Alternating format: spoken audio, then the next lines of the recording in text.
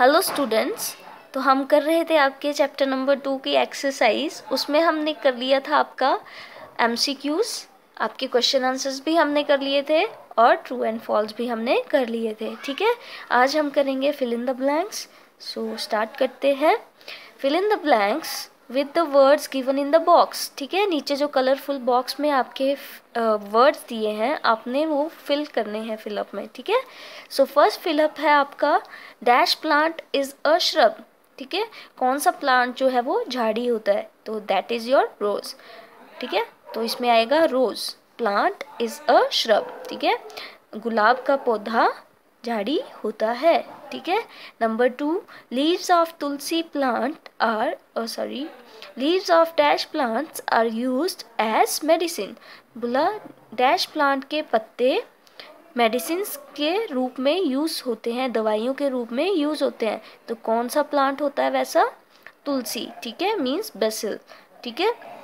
Number three है some leaves are long and some are dash ठीक है? कुछ पत्ते लंबे और कुछ डैश होते हैं, ठीक है? तो ट्रायंगुलर ठीक है? डिफरेंट शेप्स के होते हैं, कुछ लंबे होते हैं, कुछ ट्रायंगुलर होते हैं, कुछ राउंड भी होते हैं सर्कल की शेप में भी होते हैं, ठीक है? सो नेक्स्ट है आपका some leaves have dash margins and some uneven ठीक है? कुछ पत्ते पत्तों के मार्जिन्स डैश और टेढ़े में, कुछ के टेढ़े मेढ़े होते हैं, ठीक है? तो क्या मार्जिन्स कैसे होते हैं पत्तों के? स्ट्रेट होते हैं और अनइवन भी होते हैं। स्ट्रेट मतलब सीधे, ठीक है? और अनइवन का मतलब है टेढ़े मेढ़े, ठीक है? जो साइड की आउटर बाउंड्रीज होती हैं पत्तों की, ठीक है? नेक्स्ट है आपका the new game the children played with didi in the garden was called dash ठीक है? बोला, जो नई गेम बच्चों ने खेली दीदी के साथ गार्डन में, उसको क्या नाम दिया था?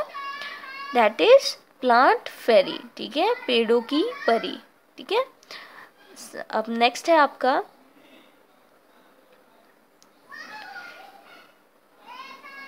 नेम द ट्रीज और प्लांट्स विच गिव अस ठीक है? तो नीचे आपने उन प्लांट्स के या ट्रीज़ के नाम लिखने हैं जो आपको क्या, जो भी चीज़ें नीचे दी गई हैं, वो देते हैं, ठीक है? तो फ़र्स्ट है मेडिसिन ठीक है? तो मेडिसिन हमें कौन कौन से प्लांट से मिलती है? तुलसी एंड मिंट मतलब तुलसी मतलब बेसिल एंड मिंट मतलब पुदीना, ठीक है?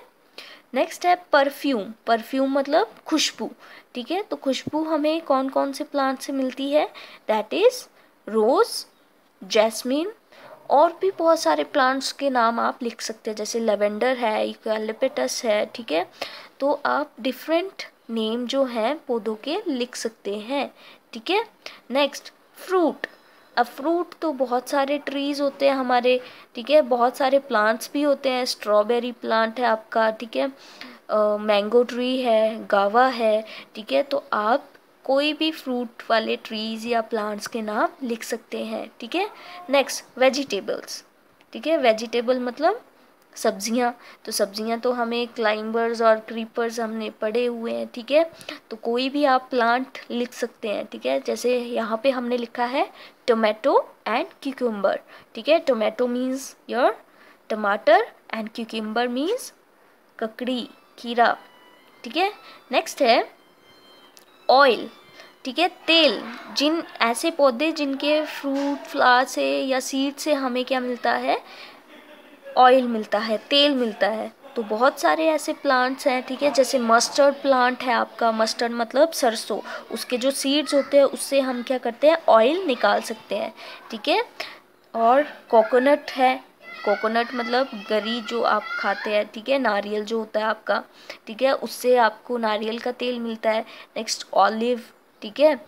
ऑलिव्स भी होते हैं आपके। तो आप डिफरेंट ट्रीज़ के जो हैं, नाम यहाँ पे लिख सकते हैं, ठीक है? तो आज के लिए सिर्फ़ हम इतना ही करेंगे। नेक्स्ट वीडियो में हम आपके मैच द फॉलोइंग और बाकी जो एक्सरसाइज रह गई है, वो फिनिश करेंगे, ठीक है?